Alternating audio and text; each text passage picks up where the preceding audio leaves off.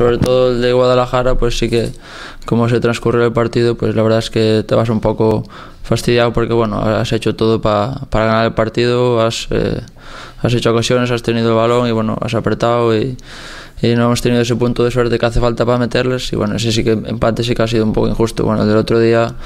pues ha sido el partido más igualado, bueno, más competido y verdad que el empate tampoco es eh, injusto del todo, pero eh, cuando no puedes ganar pues tampoco es importante no perder y como esto es muy largo pues eh, ahora igual lo ves un poco dos empates seguidos que parece que es poca cosa, pero bueno, tal como estábamos hace un mes o así, pues la verdad es que hay que valorarlos en su medida. No, no se ha planteado. La verdad es que en el vestuario, eh, cuando, el mister habla o nosotros hablamos entre nosotros, solo pensamos en el siguiente partido, que es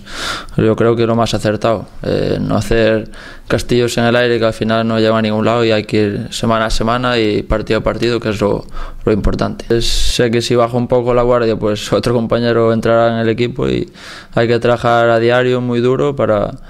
para poder estar ahí y bueno, tener la suerte que también te respeten las lesiones y bueno, pues eh, intentar hacer el trabajo que, que el mister eh, que quiere, pues hacerlo eh, lo mejor posible. Y bueno, en ese camino estoy, no, no valoro ni pienso que los minutos ni los partidos, no, no, eso no lo pienso, la verdad. En este equipo, en esta categoría, casi nadie es imprescindible, cualquiera que entra pues lo hace igual o mejor y y en ese sentido esta plantilla pues está configurada pues eh,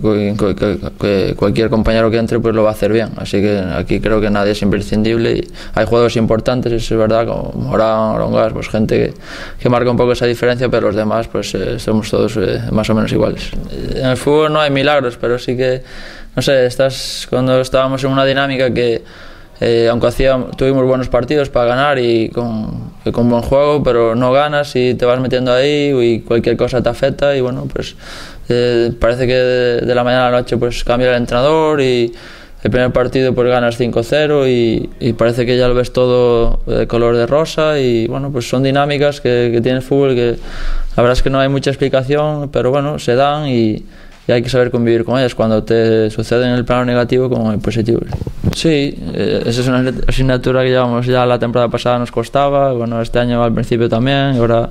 Pero bueno, yo creo que